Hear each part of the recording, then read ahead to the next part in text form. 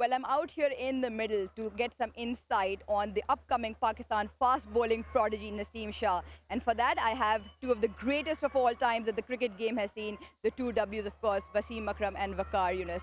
Waqar, I'll start with you first, of course. Naseem Shah, into the setup, young, fresh, raw at 16, mm. and you were hugely instrumental in bringing him in. What struck you about him when you saw him then?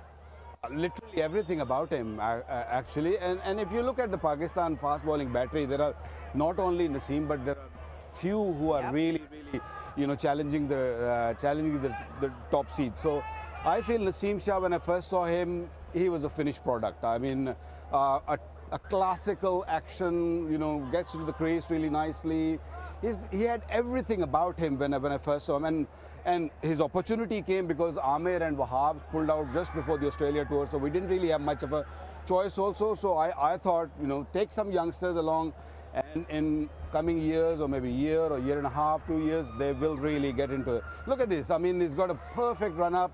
Uh, you know, gets to the crease really nicely, gets side on really nicely, hits the deck really hard, and he's got pace. You know, the key thing for me is the pace. He's got that pace. He's got a Dennis Lillee kind of action. Wasim you will probably know uh, yeah, more about it. Vicky, you worked with him. Yeah. Uh, uh, I, what I love about him, his follow through. Mm. And obviously, his the way he bends down puts all the pressure on his front leg, and then that follow through. Yeah. And he's got very clean action. Yes, yes. That's so important. Very clean. Front arm is high, and then of course with front arm when he uses that with pivot, mm. he gets it out swing. But I think what I've seen uh, improvement in his bowling, uh, Waqar, is uh, uh, in this recent Asia Cup is that now he bowls that big in swingers with the yeah, new ball. Yeah. And I mean those pitches, especially those uh, the Dubai pitch, mm. helped his bowling as well and gave him some confidence as a bowler. And of course now as an all-rounder. well, you can't take those two massive sixes out of the equation. But the character this young boy has shown, still only 19, the mental resolve, it is truly impressive. It really is. It's very, very impressive under pressure against the big teams, uh, bowling consistently well and with consistent pace, like Waqar said.